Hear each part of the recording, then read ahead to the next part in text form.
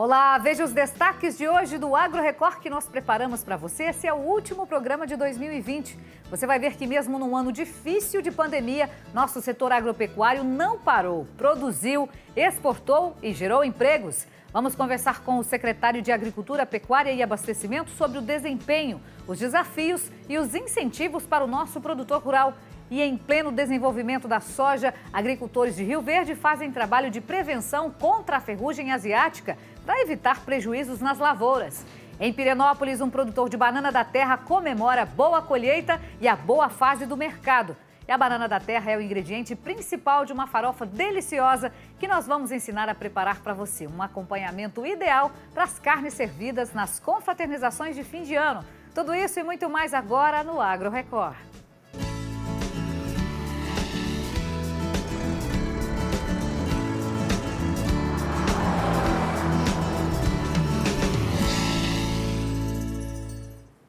Olá, seja bem-vindo. O período de colheita da banana da terra na região de Pirenópolis já começou e vai até maio. O mercado da fruta está em alta. O produtor está conseguindo vender a 45 reais a caixa de 18 quilos. Veja agora na reportagem do Leonardo Gonçalves e o Douglas Lopes. Nesta área de 12 hectares foram cultivados 60 mil pés de banana da variedade terra. Uma fruta maior e mais graúda. Depois de soltar o umbigo, demora cinco meses para o cacho ficar granado e estar no ponto de colheita. A banana da terra apresenta uma textura mais consistente que as outras, ideal para o preparo de receitas doces e salgadas. A banana da terra é bastante consumida cozida ou frita. Os goianos adoram banana frita e, é claro, em todo restaurante que você for, pode ter certeza que vai ter banana da terra frita, mas para produzir tem algumas peculiaridades. O Samuel, ele trabalha com cultivo da banana prata há cerca de 5 a 7 anos. Por exemplo, Samuel, esses cachos, eles já estão no ponto de colheita ou não? Esse aqui, como você pode ver que ela está uma banana mais fina, ela ainda não está no ponto, né? Ela vai demorar mais ou menos 30 dias. Agora essa aqui, que ela já está mais grossa, torno de uma semana já está no ponto de colheita. Que jeito que tem que estar tá no ponto então para colher a banana ela, terra? Ela tem que estar tá uma banana mais grossa e, e as bananas compridas. Samuel, me conta, como que foi esse ano para produzir a banana aqui na região de Pirinópolis? Choveu? Choveu o suficiente? Não, esse ano não tivemos muita chuva. Foi um ano, um ano ruim de chuva, ainda está continuando, né? Que aqui não choveu o suficiente e a gente está tendo que entrar com a irrigação é, todo dia, deixar à noite e indo para ver se dá uma ajuda. Então por isso que algumas estão minguadas ainda? Isso, isso, por causa da seca que foi braba demais esse ano. Aí entrando um pouco com a irrigação, elas podem ficar mais graúdas, isso, ficar mais cheinhas ainda? Vocês isso. estão esperando? Não, as que já tá granada, ainda aí já não, não tem como mais, mas essas ainda que não tá granada, essas nós pode ainda ficar grossa ainda, granar bem melhor. E qual que é o período de colheita desde que solta o cacho até formar mesmo as bananas? Nós estamos esperando nessa plantação aqui uns cinco meses colhendo. Cinco meses colhendo. Isso. E os mercados? Para onde vai a banana daqui? Vai para Brasília, Goiânia. De... Já tem os lugares certos? Já tem os lugares, já, já tem os clientes certos já. Gente, é curioso porque aqui na região de Anápolis, Pirinópolis, a gente encontra muita é, plantação de banana prata, alguns chamam de pacovan e não de banana terra. Por que, que vocês aproveitaram então para plantar a banana terra, ô Samuel? É por, causa, por causa de ser uma banana mais fácil, né, de se cuidar. Ela é mais forte? Mais forte, é resistente. Mais isso, resistente. Isso. Então a gente preferiu por optar por a banana da terra. O manejo com ela também, ela depende menos de mão de obra? Não, é o mesmo das outras mesmo. Mesmo das Mesma outras. Coisa, isso. O problema mais então seria o ataque de pragas e isso, doenças. Essa aqui é mais resistente contra isso. Por isso que é melhor a da terra. E a gente tem até aquela curiosidade, porque em Bananal, aqui na roça, a gente diz assim, que tem sempre a banana mãe, a banana filha, o pé que é a filha e a neta. Nesse caso aqui é um exemplo claro. Isso. A mãe é esse pezão aqui maior que está com o caixa ali ainda, Isso. enchendo, o caixa ainda não está no ponto. Essa aqui é a filha a e filha. ela está num ponto ideal por quê? Ela está sadia? Tá, essa está sadia. Você pode ver pela folha da guia dela que ela está uma, uma folha bem verdeada, bem bonita. Ou seja, quando fizer a retirada do cacho, a mãe vai ter que ser cortada. Vai ser cortada, isso. A filha se torna mãe. Isso. E agora esse broto aqui que está saindo, esse aqui vai ter que ser eliminado ou ele já é a neta? Não, esses aqui vai ser todos eliminados, esses pequenos. Aí quando cortar essa já tiver grande, aí vai soltar outro do lado dela aqui, ó. Ou não seja, essas aqui ainda continuam sendo filhote da grande. Então essas aqui toda é cortada, fica só essa e depois que tira a neta. Samuel, eu vou pedir para fechar a imagem aqui, só para quem está em casa entender bem. Bom, a gente está vendo que o tronco dessa bananeira aqui, ele está bem grosso, ou seja, a banana mãe, a banana filha, e aqui é um broto que seria a neta, mas ainda não é a neta. E se esse broto não, não for retirado, nem esse outro aqui, e mais um que está aqui atrás, o que, que acontece? Ele pode tirar a energia, a força das outras duas? Isso, pode. Ela fica consumindo, né? Por exemplo, você joga um adubo foliar, ao invés de, de ser consumido nessa aqui que vai, que vai ser utilizada, aí ela fica jogando nessa também. Então fica gastando energia no, no que não precisava. Ou seja, então tem que retirar aqui para acabar de granar o cacho. Isso, tem que retirar. Tá vendo aí? A colheita aqui no Bananal já começou, mas estamos na entre safra de algumas variedades e o preço na Ceasa de Goiânia está variando. Nós temos cinco variedades de banana na Ceasa, as comerciais. Nós temos a banana maçã, a, a banana marmelo, a nanica, a prata e a banana terra, sendo que a terra conhecida como aquela banana de fritar, a banana marmelo também é, é considerada também a banana de fritar. Agora, aquelas de consumo in natura, nós temos a maçã, a prata e a nanica. Nesse período agora nós temos um período bastante crítico para a banana maçã, ela está na entre safra, ela já atingiu o pico aí de 85 reais uma caixa, né? sendo que o normal dela é em torno de 30 reais uma caixa de banana maçã. Então, e ela deve perdurar esse preço aí até final do mês de março, é, nessa, nessa linha aí de entre 80 75, 80 até 85 reais a caixa, né? Se bem cuidado, um bananal pode ter uma vida útil bem longa. Esse aqui já está com 7 anos. A fruticultura proporciona uma boa rentabilidade para o produtor. Para se ter uma noção, são necessárias seis pessoas para cuidar de 60 mil pés de banana. Por isso, o produtor nem pensa em parar de cultivar a banana. Segundo nutricionistas, a banana da terra é uma fruta rica em fibras alimentares que ajudam no equilíbrio intestinal. Tem ação antioxidante e potássio, um mineral importante para a recuperação muscular. A fruta também é rica em vitaminas do complexo B, excelentes para a produção de energia e vitamina C, que melhora a imunidade. Tá vendo só? Os benefícios são muitos e todo cuidado na hora da colheita é importante para garantir a qualidade da fruta. Gente, o Samuel estava me contando aqui como que funciona a panha da banana, ou seja, a colheita. Como é que é? Vamos explicar para o nosso telespectador? Aqui a gente passa com, com o trator e com a carreta, a carreta forrada, que também que não pode machucar a, a, a penca da banana, porque ela rocheia, aí no cliente, chega lá no cliente final, ele Recusa, vai refugar, né? isso. Então passa com o trator, aí vai dois cortando a banana e um em cima da carreta, pegando a banana do quem cortou e colocando ela devagarzinho. Então tem que encaixotar devagar. Isso. Aí leva lá para cima pro galpão, aí lá põe em volta do tanque de água e vai despencando dentro do tanque de água e dois embalando, encaixotando e já jogando dentro do caminhão. E como está a sua expectativa aí, Samuel? Já que vocês vão começar a colher, você explicou tudo, como é o passo a passo, desde a colheita até colocar as bananas na caixa. Você vai começar a colher e a expectativa aí, quantos caminhões, quantas toneladas aí por semana, quando tiver bem aquecido mesmo? Uai, aqui eu tô com prevista de me tirar uns dois caminhões por semana. Isso dá o que em tonelada? Dá uns 20 toneladas por semana. Isso é uma produção boa aqui para a área de vocês? É, mas assim, não é 100% não, mas também não é aquela, aquela produção ruim não, é razoável. Samuel, chegar aqui, me conta uma coisa. Você disse que a previsão é que a caixa de 18 quilos saia a 45 reais aqui da roça, ou seja, o comprador ou então o atravessador vem buscar aqui.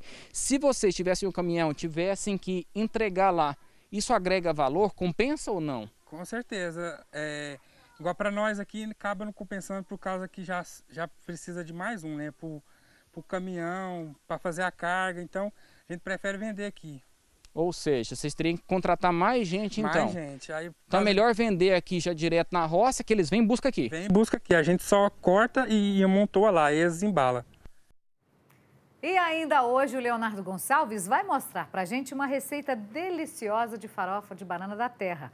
Ótima para acompanhar carnes, então não vai perder, viu? E o nosso mito ou verdade de hoje é sobre carne vermelha. Nesse tempo de férias, almoço e jantar em família, muita gente exagera. E aí surge a dúvida: a carne vermelha, será que engorda? Ai, essa me interessa. Essa é a primeira pergunta de hoje. E quem está de dieta, será que pode consumir muita carne vermelha? Será que isso é mito ou é verdade? Quem está de dieta pode consumir carne vermelha? É proteína, né? Olha a dica aí. Será que é mito ou será que é verdade? Eu te conto já já. Você vai conhecer agora um tipo de papel feito com sementes de flores, uma opção ecológica que pode substituir o papel comum. E como ele é feito com sementes, se alguém joga no chão, pode até nascer uma planta. O Carlos Magno é quem vai mostrar para gente. Talvez seja o melhor papel que o papel já representou. Depois de servir para receber um texto de jornal, virar um simples bilhete ou embalar alguma coisa, o papel é plantado na terra e vai germinar porque está cheio de sementes. Não à toa, é chamado de papel semente. Gisel comprou alguns para imprimir o certificado de garantia das joias que ela vende. Daqui 20 dias, vai colher margaridas. O papel semente foi uma oportunidade é, que tive, que deu para fazer, né, um menor custo também. E, e eu posso oferecer aos clientes uma forma criativa também deles levarem a minha marca de, um, é, de uma forma diferente, é, com essa preocupação de sustentabilidade do meio ambiente e para descartar corretamente né, o papel. A experiência com o papel semente apareceu uns 10 anos atrás em Belo Horizonte. O sistema é aquele mesmo que a gente aprende na escola para produzir folhas artesanais é feito com o resto de papéis que um dia foram úteis. A diferença é que são acrescentadas as sementes. Uma folha pode ter dezenas.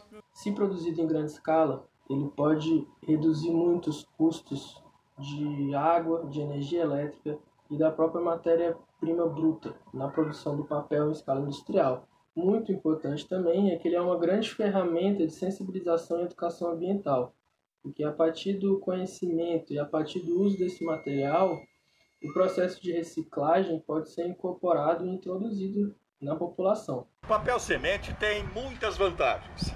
Não vai para o lixo, não suja a rua, não precisa ser recolhido pela limpeza urbana, nem vai entupir o aterro sanitário e levar anos até desaparecer sem utilidade nenhuma. Plantado, pode virar uma hortazinha como essa aqui, ou um canteiro de flores. Acredito que essa não é uma simples moda, uma tendência de comportamento.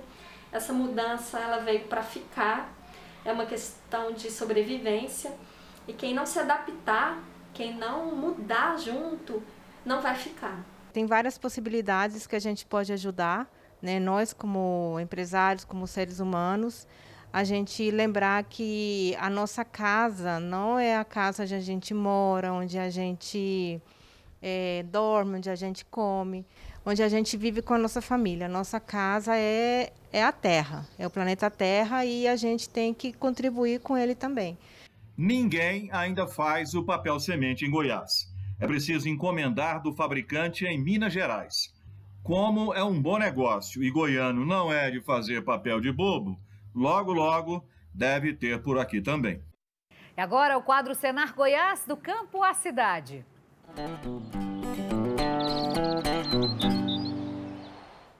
De uma maneira dinâmica, o Departamento de Comunicação do Sistema FAEG Senar faz uma ponte para que o agronegócio chegue aos mais diferentes públicos do campo à cidade. Hoje nós recebemos aqui a Michele Mancinelli, gerente de comunicação, que veio trazer novidades sobre esse assunto para a gente. Seja muito bem-vinda. Nós gostamos demais de falar sobre isso. Conta pra gente quais esses canais de comunicação disponíveis, Michele. Bom dia, Juliana. Obrigada. Então, nós temos diversos canais de comunicação no sistema FAEC Senar e FAG. Um deles é o nosso portal, que ele é rico em notícias, né, muito conteúdo do agro, assim como as ações do sistema. Nós também temos o podcast, que é o Campo Cast do Agro, e toda terça-feira tem novidade. Então, fiquem ligados nas principais plataformas de streaming. Nós também temos a nossa central de relacionamento, o WhatsApp e outros canais que vêm em 2021. E nesses canais de comunicação, a revista Campo é a única voltada para o agro que existe aqui em Goiás, né? Sim, a revista Campo, ela é a única especializada no agro em Goiás e ela vem com novidade em 2021. Ela vem ainda mais interativa, com conteúdo novo, né? não só para o produtor rural, mas para, para a família rural, para a sociedade, para o jovem. Então, vem novidade por aí na, na nossa revista Campo, que ela é mensal. Olha só, quando ela fala novidade, a gente já quer logo a provinha, né? Para saber o que, que vai ter. O que mais está previsto para 2021? Você já pode contar para a gente? Sim. Nós também teremos mais acessibilidade. O que, que eu quero dizer com isso? Os nossos conteúdos, as nossas notícias autorais, elas serão em áudio também. Então, o nosso público vai ter a oportunidade, além de ler, ouvir as nossas notícias, aonde ele estiver. Está fazendo uma caminhada, está na academia, aonde estiver, no carro, vai conseguir ouvir as nossas notícias autorais. Até porque as notícias do campo, tudo que acontece no campo, as notícias sobre inovação, sobre técnica, né, sobre gerenciamento de propriedade, produtividade, hoje em dia a gente sabe que interessam tanto para o produtor rural, tanto para as pessoas da zona urbana também. Então é importantíssimo ter isso, né? Essa geração de novos conteúdos, acompanhando essa tecnologia, né, Michelle? Sim, com certeza. Além da revista e, e do, dessa novidade no portal, que é a, a sonora, né, o áudio das notícias, nós também teremos a News do Agro, o Glossário do Agro. Ah, e é importante lembrar que nós acabamos de relançar o Prêmio FAEG Senar de Jornalismo. Então, é muito importante que todos fiquem ligados nos nossos canais de comunicação. E também quero reforçar, nós também estamos nas redes sociais, Instagram, Facebook, Twitter, LinkedIn, que tem novidades diariamente. Olha só, gente, que interessantíssimo. Então, você que quer acompanhar tudo que acontece no agro, ficar por dentro de cursos também, né? Trazer lá do Senar, que tem sempre muitas oportunidades, basta acessar esses canais. Deixa pra gente o um Instagram, ou mais canais, para o pessoal poder acompanhar melhor. Arroba Sistema FAEG, é, as nossas redes sociais e o portal sistemafaeg.com.br. Vou te esperar aqui de novo esse ano ainda, viu? Para você trazer mais novidades para a gente sobre a comunicação, porque eu acho que é isso que o produtor precisa e nós também. Muito obrigada pela sua presença. Eu quem agradeço. Viu? Obrigada. E esse foi o nosso quadro Senar Goiás, do campo à cidade.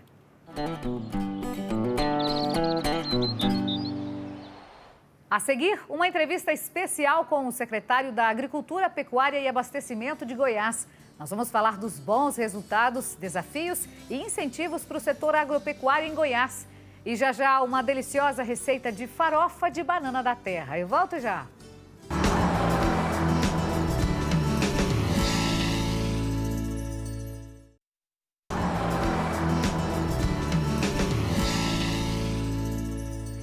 De volta com o Agro Record. Agora a primeira resposta aqui, a resposta da nossa primeira pergunta do nosso Mito ou Verdade de hoje, que é sobre carne vermelha. Eu perguntei para você o seguinte: quem está de dieta pode consumir carne vermelha? Será que isso é mito ou verdade? Você já fugiu da carne vermelha com medo de engordar? Então é o seguinte: quem está de dieta pode consumir carne vermelha? É verdade, gente. Pode sim. A não ser que você tenha alguma restrição alimentar por conta de algum problema de saúde, a carne vermelha pode sim ser consumida para quem precisa perder peso. Lógico que a gente não está falando de picanha, não pode ser carne gordurosa, né? E desse consumo também a gente deve pensar que tem que ser moderado, já que tudo em excesso pode não fazer bem. Olha essa notícia: três municípios goianos são destaque entre as maiores economias agropecuárias do Brasil. São eles Rio Verde em quarto, quarto lugar, Jataí em oitavo lugar e Cristalina em décimo terceiro lugar. No cenário estadual, esses municípios ocupam as três primeiras posições e correspondem a 17,2% da riqueza agropecuária gerada entre os municípios goianos. Esses dados são do IBGE, publicados neste mês e que tem referência como o ano de 2018. Esse mesmo estudo aponta a economia agropecuária goiana como a sexta maior entre os estados brasileiros. De toda a economia estadual, 11,4% são geradas dentro da porteira enquanto a participação do setor agropecuário na estrutura econômica do país é de mais de 5%. Isso reforça a vocação do nosso Estado para a produção no campo. Isso é muito bom, né, gente? Em Goiás, o agro não parou mesmo num ano tão difícil como foi 2020, né? Pelo contrário, o agro produziu bastante e gerou muitos empregos, mas nós enfrentamos desafios, viu? Para participar do nosso último agro do ano, nós convidamos o secretário de Agricultura, Pecuária e Abastecimento do Estado, Antônio Carlos de Souza Lima Neto. Muito bem-vindo. É o momento ideal para a gente fazer um balanço aí, né, do agro aqui em Goiás. Seja muito bem-vindo.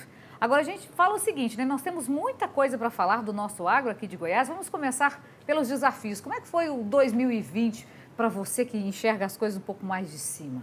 Bom, sem dúvida, um ano muito desafiador para todos nós, um segmento produtivo que deu uma resposta muito interessante diante da circunstância da pandemia, onde a atividade agropecuária ela não paralisou em momento algum, mas ao mesmo tempo ela enfrentou os desafios de estar susceptível a toda a contaminação durante a pandemia e efetivamente os produtores rurais motivo de muito orgulho para nós celebrarmos o final do ano e termos os ótimos resultados que o nosso estado de Goiás alcançou por todo esse contexto da produção que continuou e alavancando ainda mais a economia do nosso estado. Isso é motivo de nós nos orgulharmos e, felizmente, de celebrarmos os bons resultados alcançados neste ano de 2020. Secretário, como é que o senhor vê o agro de Goiás hoje dentro do cenário nacional? Bom, um agro muito representativo, uma economia que se movimenta nos 246 municípios. Para a gente ter uma ideia, nós tivemos uma safra 2019-2020 crescente, superamos o estado do Rio Grande do Sul, passando a ter o terceiro maior, terceiro maior produtor de grãos do país, uma pecuária que se expande a cada momento, seja a pecuária de leite, a pecuária de corte, uma avicultura e uma suinocultura que demonstra toda a sua força e, principalmente, as oportunidades que são alcançadas no momento como este, em que a nossa produção dentro da porteira ela cresce, a nossa industrialização ela é fortalecida e demonstra ainda maior, ainda mais uma agregação de valor e os produtos sendo beneficiados no nosso estado de Goiás e felizmente a garantia da essencialidade a todos os goianos que não paralisaram na sua produção e não faltou alimentação a ninguém. Nós tivemos todos os lares goianos, brasileiros e ao redor de todo mundo abastecidos e isso tudo se deve felizmente, graças a esse importante setor na nossa economia. E nós temos ainda um que a mais, né? Várias empresas acabaram fechando as portas nesta pandemia, né?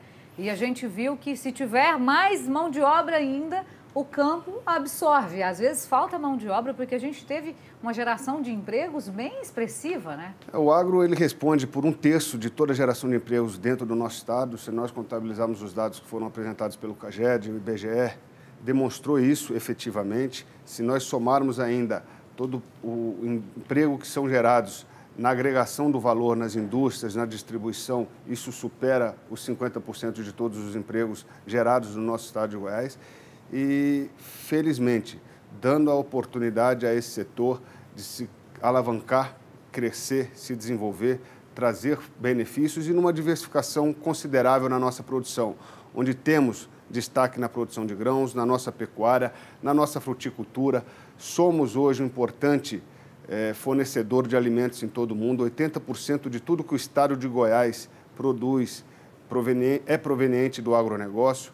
Para contabilizarmos, exportamos neste ano 7,5 bilhões de dólares, sendo que 6 bilhões foram provenientes do agronegócio. Isso tudo gerou receitas, gerou dividendos e, consequentemente, o desenvolvimento do nosso estado e dos nossos municípios goianos. A gente exportou muito, né? cresceu muito, muita gente que precisava, às vezes, dar uma equilibrada, uma equalizada e conseguiu é, melhorar um pouco a propriedade. Né? Agora é o seguinte, esses produtores, eles estão recebendo algum incentivo? Quais os incentivos que têm? Um trabalho intenso que tem sido feito pelo governo do Estado, as principais políticas públicas sendo implementadas de apoio ao fortalecimento desse setor. É, a disponibilização de crédito garantido, principalmente na parceria em, relação com o governo federal, um plano safra que foi muito bem trabalhado e que, felizmente, nós temos a expectativa de que nós continuemos crescendo na nossa safra 2020 e 2021.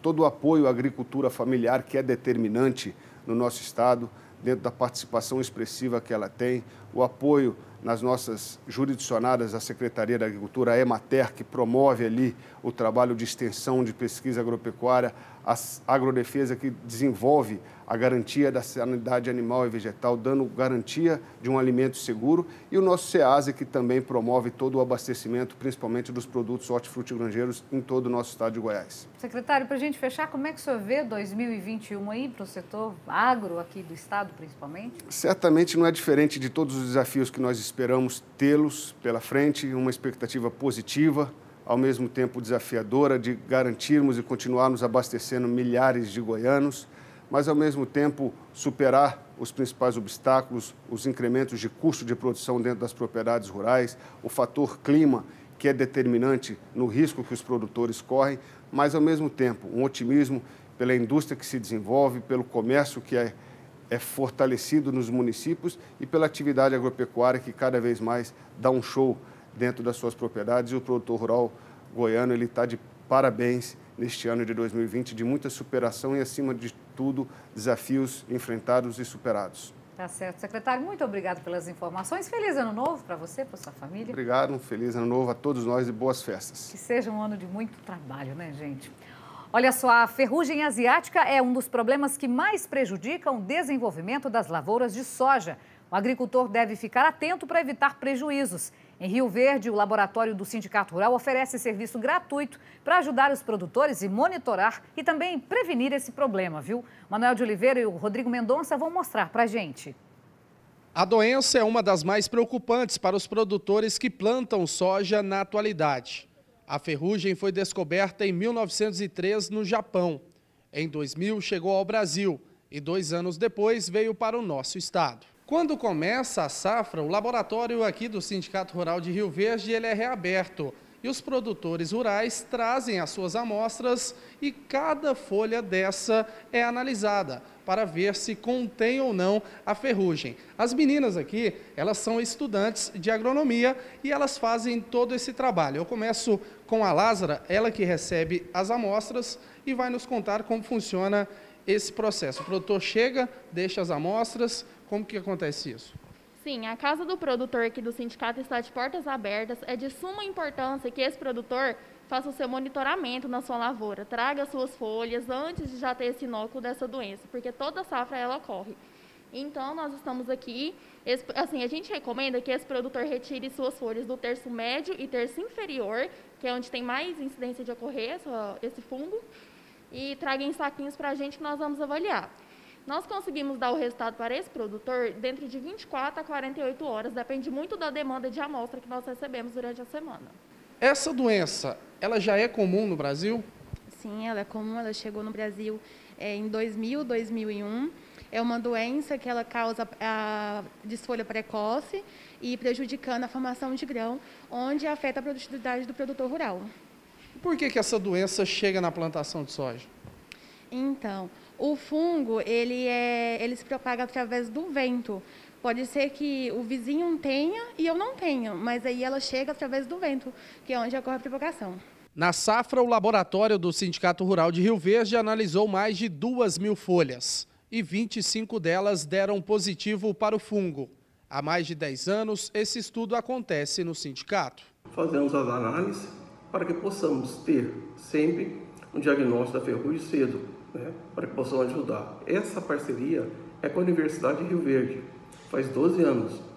Então sempre pedimos aos produtores que levem suas folhas e agora, mais importante ainda, que a soja, a maioria estão florando e esse estágio é muito, a soja é muito delicada, a questão de ferrugem. O professor Hércules Campos, da Universidade de Rio Verde, nos lembra a importância do estudo, da prevenção e principalmente do monitoramento. Esse monitoramento é muito importante para saber as condições da, dessa doença na nossa região, se tem a presença de inóculo, se está iniciando a infecção, justamente para é, fazer com que o, o programa de aplicações, né, o manejo seja de forma mais adequada. Essa propriedade rural fica a 30 quilômetros de Rio Verde. Aqui já foram plantados mais de 550 hectares de soja. A primeira aplicação de fungicida está acontecendo neste momento. E o que chama a atenção é que o próprio produtor rural está fazendo a aplicação. Já tem uns 10 anos que eu já faço esse trabalho, né? É, eu acho que é um dos momentos mais criteriosos que a gente tem que ter, né? Para estar tá combatendo doenças, insetos, pragas, né? Então eu mesmo prefiro fazer esse, esse serviço, até porque, é, como se diz, a gente tem mais confiança no que a gente faz, né? O Vilmar lembra os demais produtores de soja sobre os cuidados que todos devem ter, já que a ferrugem chega pelo ar e pode passar de uma propriedade para outra. Procuro fazer as aplicações nos melhores momentos do dia, né? É, como já disse, os melhores produtos do mercado, a gente sempre está atento sobre isso, né? Aplicar é, protetores, né? Para ajudar no, no, no, no, nos outros produtos específicos, né? E esses, para mim, são os maiores cuidados. O produtor ainda explica de quanto em quanto tempo ele faz as aplicações de fungicida. Eu trabalho aqui é em torno de 15 dias, 17 dias de uma aplicação para outra. E o que você tem mais medo? Da falta de chuva ou da ferrugem? Aí, com certeza é da fa falta de chuva, né? Porque por conta da ferrugem já existem produtos bons, né? E a gente sabe se a gente está fazendo o trabalho correto aqui dentro da lavoura, a gente vai ter colher bons resultados. Agora a chuva já é, a gente já tem que contar com a ajuda divina, né? Eu sempre falo para você que café não é tudo igual, então hoje ó, a gente vai direto para o nosso café do sítio. Hoje eu vim até combinando aqui com essa embalagem maravilhosa, porque eu tenho certeza que tem na sua casa. Olha aqui, ó, o nosso café do sítio, que beleza, gente. Olha, vim combinando com o meu café preferido hoje. O melhor café da região. Esse aqui, gente, é aquele café que lembra o café coado na hora, na beira do fogão a lenha, o café da avó da gente. Você lembra disso? E que você encontra lá no Atacadão. O melhor negócio você faz assim, preferindo um café de qualidade, com 53 anos de tradição, que ainda traz aquela música que deixa o nosso dia muito mais alegre. É o café do sítio pra te fazer feliz toma todo dia, pede outro e sempre gosta. Sabe esses cafés fraquinhos, sem aroma e sabor pra servir? Aqui não, aqui é café raiz. O café do sítio pra te fazer feliz. Quem toma todo dia, pede outro e sempre gosta. Café do sítio, aqui é café raiz. Café do sítio, aqui sim é café raiz. Pronto, agora a gente já pode seguir trabalhando aqui, já deu energia, né? Agora a gente fala de uma carne pouco consumida, a carne de pato. É muito apreciada na região norte do Brasil, onde o pato no tucupi faz um grande sucesso. Já em outras regiões do país, não há muito costume de comer pato. Mas a criação dessas aves se tornou um bom negócio para exportação, viu? A única empresa produtora de carne de pato na América Latina fica aqui no Brasil. A empresa exporta para mais de 20 países. Veja a reportagem. No Brasil, o consumo da carne de pato ainda é pequeno se comparado a outros países. Por aqui, a média por ano é de 20 gramas por brasileiro. Nos Estados Unidos, o número sobe para 200 gramas. Na França, 1 quilo por habitante anualmente. E na Ásia, o maior consumidor do mundo são 2 quilos por pessoa ao ano. O consumo de pato no mundo ele cresce de 4 a 5%. Em anos bons, né, onde que a economia pujante no Brasil, a gente chegou a crescer até 20% ao ano. E agora, com a pandemia, infelizmente, a gente amargou, está amargando o ano ainda de, de baixa, né? mais ou menos uns 20% sendo que abril, maio e junho foram os piores meses. Nós estamos na única produtora de carne de pato da América Latina. Por aqui, 70% da produção é destinada para outros países. E se tratando de exportação, o animal é o mesmo. O que muda são os cortes de acordo com cada local. No Oriente Médio, por exemplo, o animal é vendido sem os miúdos e sem a cabeça, somente com a carcaça. Assim como na carne bovina, no processo de separação da carne do pato, todas as partes são utilizadas, inclusive a gordura abdominal, que é retirada para preparos especiais em restaurantes franceses. Mas antes de chegar até a mesa, há um longo processo, começando pela importação das matrizes, ou seja, os ovos férteis. Esses ovos eh, são direcionados, transportados aqui para a unidade de Indaial, onde a gente tem a, o incubatório. Depois de 28 dias, nascem os patinhos. Depois que os patos nascem, eles são levados junto de uma ração especial para quatro fazendas de produtores integrados. Os animais são cuidados e alimentados por 40 dias, até chegarem ao peso de 3 quilos. E então retornam para o frigorífico para o abate. São aproximadamente 10 mil aves abatidas por dia e elas passam por um processo especial para que sejam respeitadas as tradições religiosas de alguns países consumidores. Que o abate, então, ou ele recebe um atordoamento, é, ou ele é abatido sem choque de acordo com os preceitos islâmicos, porque a gente também exporta né, muito para o Oriente Médio. Nesse quesito, a gente então é auditado pela uma certificadora halal. Então a gente tem um abate halal que é voltado para a Meca. Tem todo um, um procedimento é, operacional dentro da fábrica para garantir que então o produto está sendo produzido de acordo com os preceitos religiosos islâmicos. A empresa catarinense participa de todo o processo, desde o nascimento das aves até a embalagem e exportação. E antes de chegar até a sua mesa, é importante saber que se trata de uma das carnes mais saudáveis. Fonte de proteínas, vitamina B e ferro. A carne de pato é uma ótima opção para quem procura diminuir o colesterol. E além de ser altamente digestiva, ela possui um sabor único.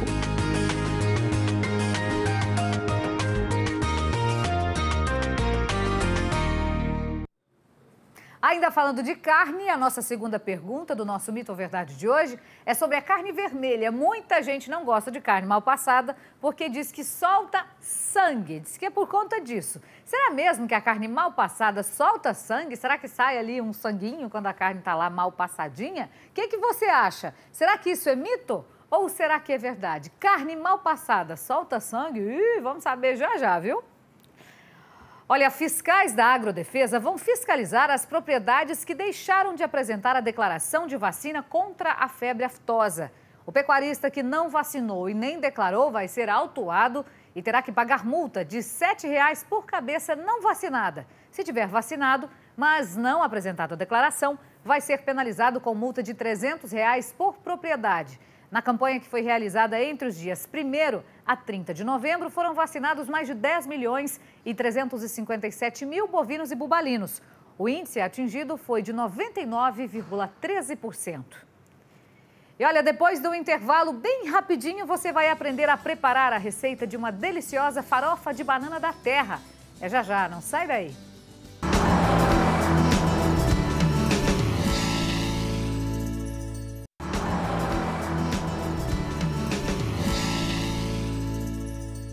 Estamos de volta com o nosso Agro Record. Mais uma resposta para você do nosso mito ou verdade de hoje, falando sobre carne vermelha. Será que a carne mal passada solta sangue? Será que é mito ou é verdade? Hein? Você já ficou assim meio desconfiado? Não, não quero não que é sangue?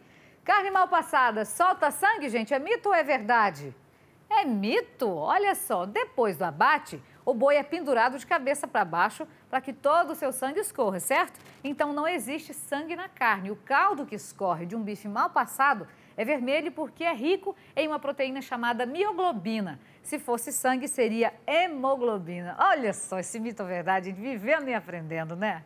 Você gosta do mito ou verdade? Você pode enviar sua sugestão para o quadro Mitos e Verdades do Nosso Agro para o nosso WhatsApp, 982-220018. Você também pode assistir às nossas reportagens no nosso canal no YouTube, youtube.com.br Record TV Goiás e nos acompanhar pelo Instagram. Segue lá, arroba TV Goiás. Você viu hoje no início do nosso programa que a produção de banana da terra está a todo vapor. Aproveitando essa boa fase da fruta, o Leonardo Gonçalves encontrou uma receita deliciosa de farofa de banana da terra. Essa farofa é um ótimo acompanhamento para qualquer carne, qualquer tipo de carne, né? Nessas confraternizações aí de família, em fim de ano, então é maravilhoso. Anota aí, vamos conferir, ó. A farofa de banana é um prato que dá para incrementar as receitas mais simples do dia a dia e é um ótimo acompanhamento de carnes nas festas de comemoração. Para a receita, vamos precisar de 20 gramas de banha de porco, 150 gramas de bacon picado em cubos, 100 gramas de calabresa em cubos, 2 dentes de alho amassados e picadinhos, 50 gramas de cebola picadinha, 4 bananas da terra, 30 gramas de manteiga de leite, sal, pimenta do reino e pimenta calabresa a gosto, e 250 gramas de farinha branca de mandioca. Então, gente, é uma receita simples e o chefe Daniel vai explicar pra gente que essa receita combina com quase tudo, né? Com quase tudo.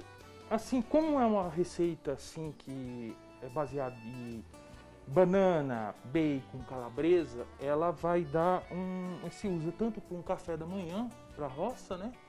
Mas também combina com churrasco, carnes, arroz, feijão, uma salada, um bife. Então ela vai com quase tudo. Vou começar com a manteiga de, é, de porco, para ela dar um suporte para derreter o, a gordura do bacon. Estou colocando a, agora o, o bacon para ela fritar e, de, e, a gente obter mais gordura para dar sequência na receita. Ela vai dar um sabor maravilhoso, né? Que é o defumado no caso. Enquanto o bacon vai fritando aqui, quero até tirar essa dúvida com você. Muita gente já coloca um bacon direto na panela e não coloca gordura ou óleo. É, é bom sempre colocar um pouquinho de gordura, porque eles falam que o bacon tem muita gordura, então já solta. Só que tem uma, um detalhe. Se eu vejo que o meu bacon é muito. É, tem muita pouca gordura, eu preciso dar um suporte, senão gruda. E aí ela é, não fica um. Vamos dizer?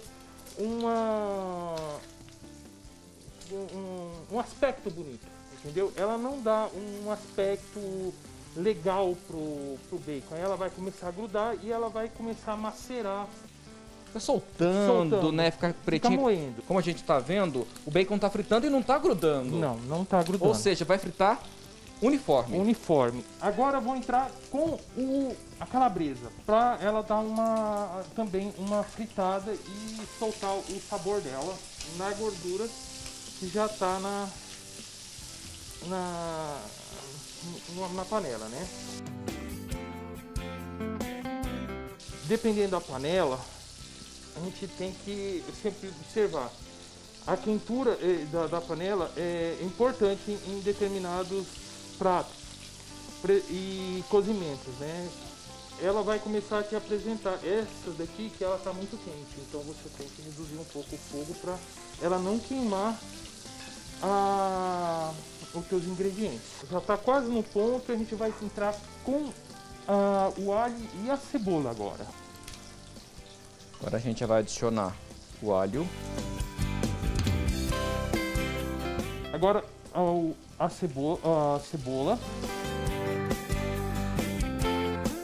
Antes de colocar a banana, eu vou colocar um pouco de pimenta calabresa e a, a pimenta é, do reino para só ela soltar um pouco a, os aromas dela, senão ela não, não, não solta. Ela vai soltar na gordura para dar um sabor mais nítido do, dela para o prato. A quantidade é a gosto, né? É a gosto. É, é, é, isso aí depende. Tem pessoas que não podem ter alergia, então pode retirar esses temperos. Aí às vezes só sal, É, às vezes tem pessoas que gostam mais uma, uma, uma comida mais apimentada e uma farofa apimentada vai bem também.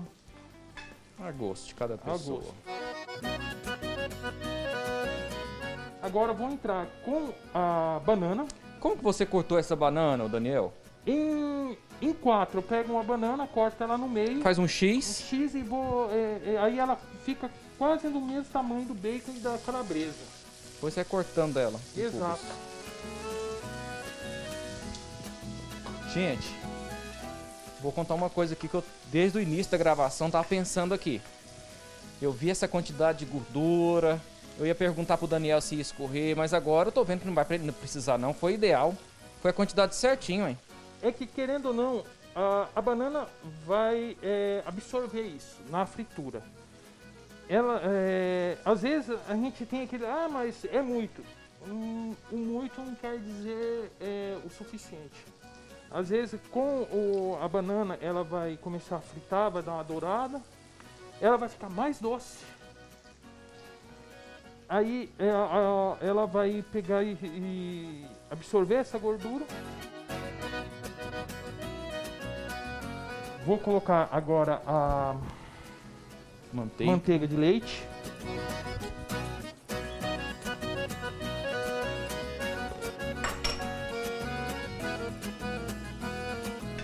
Eu vou desligar agora e vou é, adicionar a farinha de mandioca aos poucos para ver como que ela fica.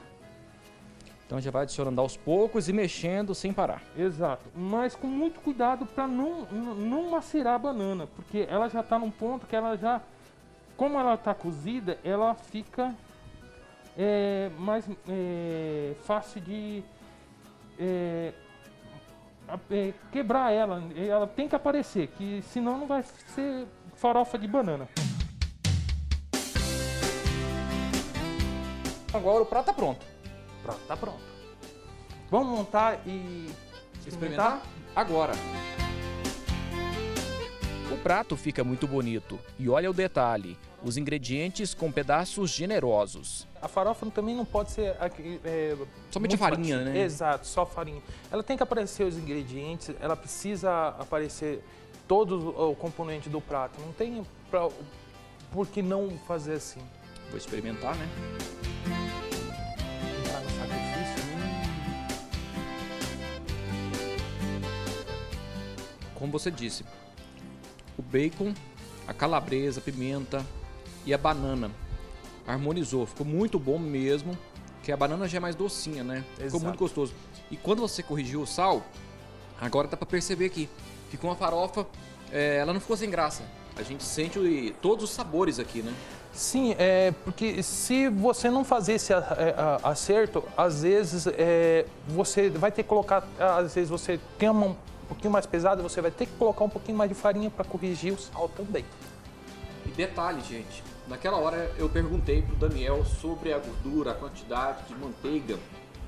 A farofa, ela não ficou manteigada, ela ficou mais sequinha e dá pra gente perceber aqui, ó, que absorveu bem toda a gordura e ela não tá, vamos dizer, gordurenta. É. Olha só, a farofa tá sequinha. Gente, tá uma delícia. Eu vou continuar experimentando, vou continuar comendo aqui, porque eu vou te contar, viu? Essa farofa de banana da terra vale a pena fazer e fica é, uma delícia e não é tão caro não, né? Não, é assim uma receita bem é, barata, vamos pôr assim. Fica em torno aí de o, prato, o, assim, a receita em, to- em total vai ficar em torno de 12 reais mais ou menos.